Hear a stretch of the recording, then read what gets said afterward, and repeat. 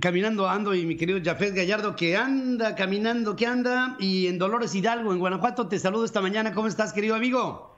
Hola, Pedro, muy bien. Este viernes sí me falló el internet, pero aquí estamos con todo el power.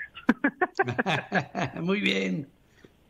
Pues sí, en efecto, hoy quiero que me acompañen a conocer el pueblo mágico de Dolores Hidalgo, que obviamente es patrimonio histórico y cuna de la independencia. Pedro, fíjate que me llevó una gran sorpresa eh, porque están trabajando mucho, es un pueblo increíble. Eh, se encuentra aproximadamente a cuatro horas de distancia de lo que es eh, la Ciudad de México, más o menos dependiendo de, pues de cómo manejes lo que te vayas encontrando, ¿no? Es este pueblo es muy conocido, obviamente, aparte de, ser cuna de la independencia y porque, pues, en este lugar fue el grito, el famoso grito de, del cura Hidalgo, el grito de Dolores pues tiene muchas tradiciones, entre ellas las nieves exóticas que son simplemente deliciosas. Déjate cuento que este lugar se, se, le llama Dolores Hidalgo, uno, porque pues ellos adoran a Nuestra Señora de los Dolores. Y dos, por el cura Miguel Hidalgo y Costilla, que su nombre completo nos, nos lo estaba contando Sandro, que fue nuestro guía en esa aventura, que es Miguel Gregorio Antonio Ignacio Hidalgo y Costilla, Gallaga, Mandarte y Villaseñor. Y así como este tipo de datos nos fue dando Sandro al ir recorriendo cada uno de los rincones de este pueblo mágico que de verdad está increíble. Parada obligatoria es la parroquia de Nuestra Señora de Dolores, que tiene un estilo barroca churrigueresco y que la puedes contemplar y admirar e inclusive hay una placa en la, en la cual indica que desde ahí dio el grito de independencia al cura Hidalgo.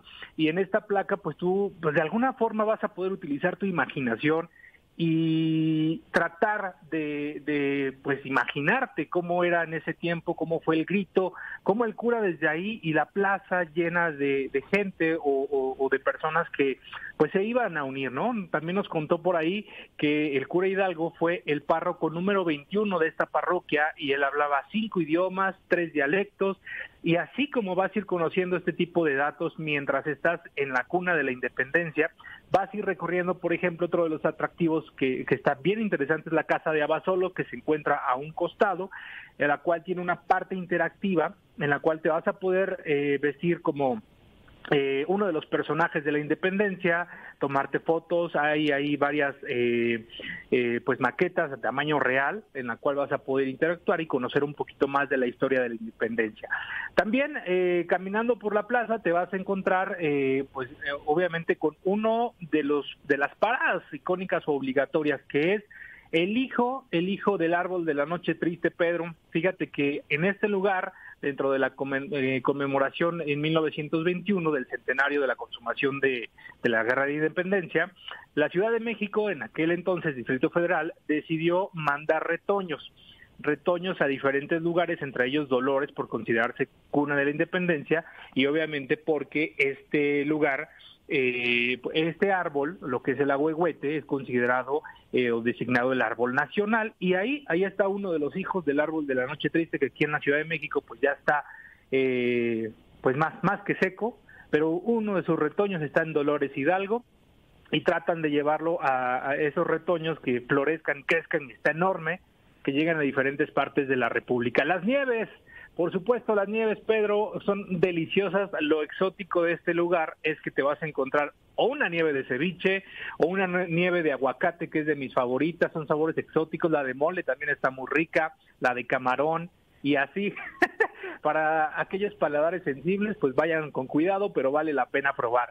Y también parada obligatoria es el, la Casa Museo de José Alfredo Jiménez, la cual tiene una entrada de 40 pesos que tienen que ir sí o sí para conocer la vida de este ídolo, de este cantautor mexicano, desde sus inicios, desde cuando iniciaba, cuando su papá, que, que tenía una farmacia, era farmacéutico, hasta pues que grabó su primer disco, toda la historia, la discografía, la ropa que usaba, los patios donde él corría, ahí lo van a poder encontrar en este museo y muy cerquita de ahí se encuentra pues obviamente el Panteón de Dolores, que la entrada es gratuita, y se encuentra el mausoleo también de José Alfredo Jiménez, donde fue enterrado, y ahí van a poder eh, conocer un poquito más de la historia de este lugar y de este compositor, ¿no? Porque tiene, esconde diferentes eh, significados, es un mausoleo impresionante, muy visitado, con un zarape monumental, con más de 200 rayas de colores, eh, que tienen los nombres de las canciones, de las más de 119 canciones que eh, pues hizo José Alfredo Jiménez.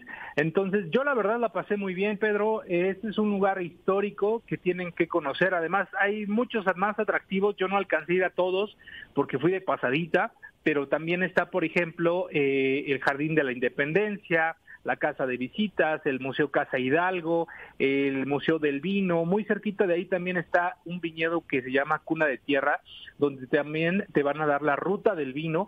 Y es que en este lugar el cura Hidalgo inició plantando las primeras parras o las primeras vid de uva, pues para hacer su vino de consagrar, que es lo que nos contó Sandro, nuestro guía de turista. Y, lo, lo padre de esto es perderse en la historia, perderse en los rincones y si se les pasó algún dato, recuerden que pueden ver pues todos los videos, todas las transmisiones eh, que, realizamos viernes con viernes en Caminando Ando en centralfmonline.com. Y aquí está un rincón más de nuestro querido Ibayo México, Pedro. Hermoso, hermoso rincón el que nos acabas de describir. Querido Jafet Gallardo, te deseo un extraordinario fin de semana. Gracias y buenos días. Igualmente un abrazo, Pedro.